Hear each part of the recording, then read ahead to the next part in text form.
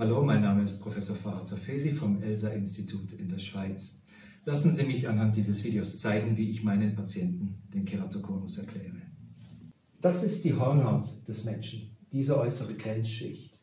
Und die Hornhaut sollte ihre Form von der Geburt bis zum Tod nie verändern. Was sich verändern kann, ist die Größe des Augapfels während des Wachstums. In der Jugend kann der Augapfel zu groß werden, dann ist man kurzsichtig. Er kann zu klein bleiben, dann ist man weitsichtig, aber diese Form hier muss immer die gleiche bleiben.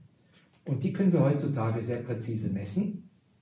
Wenn wir uns diese Form anschauen, mit einer Hornhauttopographie gemessen, dann sieht eine perfekte, gesunde Hornhaut in 3D so aus, wie die Oberfläche eines Balles.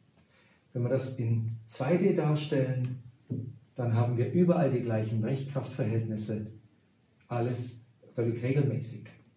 Wenn jetzt die Patienten mir sagen, aber ich habe eine Hornhautverkrümmung, eine gesunde, regelmäßige Hornhautverkrümmung sieht so aus. Man sieht die Oberfläche der Hornhaut eben nicht aus wie ein Ball, sondern wie ein Ei oder ein American Football. Und in 2D haben wir dann diese Sanduhr. Das Ganze ist aber völlig symmetrisch, oben und unten, temporal und nasal. Und alles, was symmetrisch ist, kann mit einer Brille bis auf 100% korrigiert werden. Diese Hornhäute sehen also 100% mit der richtigen Korrektur. Ganz anders beim Keratokonus. Beim Keratokonus verliert die Hornhaut eben ihre Form und sie wölbt sich krankhaft nach vorne, wird hier vorne immer dünner und kann sogar einreißen. Die Topografie sieht dann dementsprechend völlig anders aus und da ist nichts mehr symmetrisch.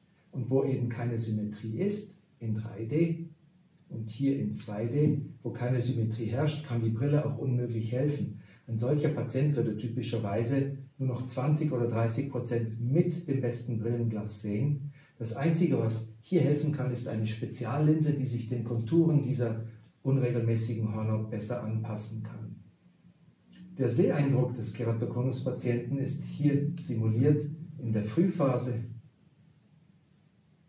und in der Spätphase der Erkrankung.